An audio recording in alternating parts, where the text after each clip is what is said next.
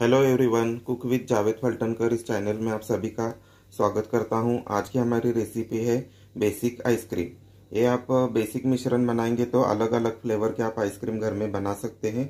इसके लिए लगने वाली सामग्री देखेंगे हम। ये सबसे पहले हाफ़ लीटर इधर बफेलो मिल्क लिया है। हाई हाई फैट वाला ये दूध लेना है।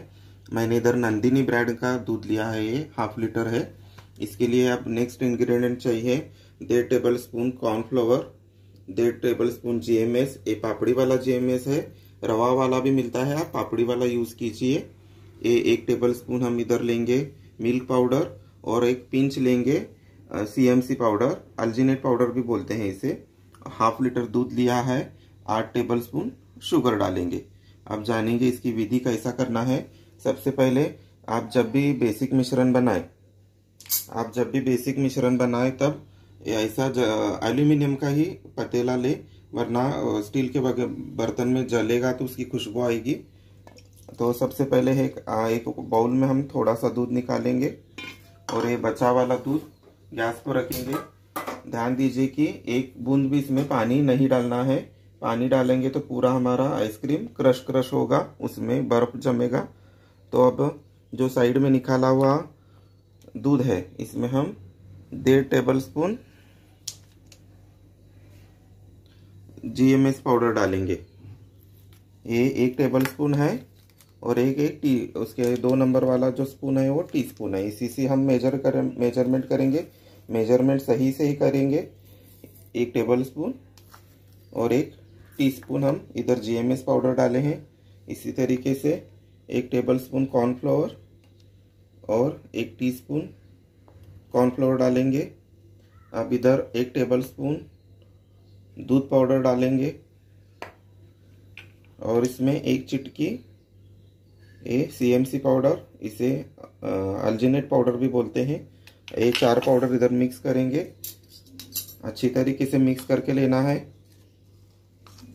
कॉर्नफ्लोर की जो गाठी होती है, पूरी तरीके से ये दूध में मेल्ट करके लेना है। अच्छी तरीके से मिक्स कीजिए। अब हमारे अब हमारे दूध को एक उबाल आया है। इसमें हम आठ टेबल स्पून शुगर डालेंगे। जब भी आप हाफ़ लीटर दूध का कुछ भी मीठा बनाते हैं, जैसे सेवया बनाते हैं, लस्सी बनाते हैं तो उसमें आठ tablespoon sugar a standard measurement है।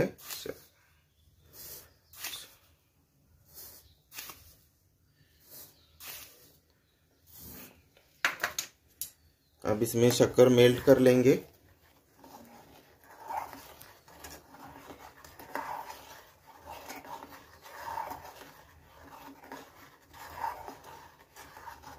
और फिर से इसे एक उबाल लेंगे।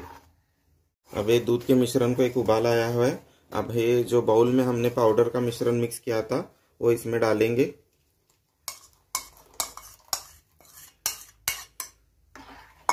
जीएमएस पाउडर ये ड्राई कोकोनट से बनी होती है, इसलिए इसमें एक तवंग आएगा तेल का। अब इसे एक उबाल लेंगे, अच्छी तरीके से पका के लेंगे ये सब पाउडर के मिश्रण को। इस तरीके से ये गाढ़ा हमको पका के लेना है दूध में। इस और इसे ठंडा होने के बाद में ऐसे प्लास्टिक का जो हमारा डब्बा रहता है, इसमें हम पूरा ठंडा होने के बाद में इस मिश्रण इसमें डालेंगे। कम से कम आठ घंटे हमें इसे डीप फ्रीजर में रखना है। नेक्स्ट वीडियो में जानेंगे कि हम इसके आइसक्रीम कैसा बनाना है। जो फ्लेवर डालेंगे वो आइसक्रीम बनेगा। अगर आपको ये रेसिपी, अगर आपको ये रेसिपी पसंद आए तो प्लीज़ चैनल को लाइक कीजिए, शेयर कीजिए, सब्सक्राइब कीजिए। और बेल आइकन को प्रेस कीजिए ताकि आगे की नोटिफिकेशन आपको मिले। Thank you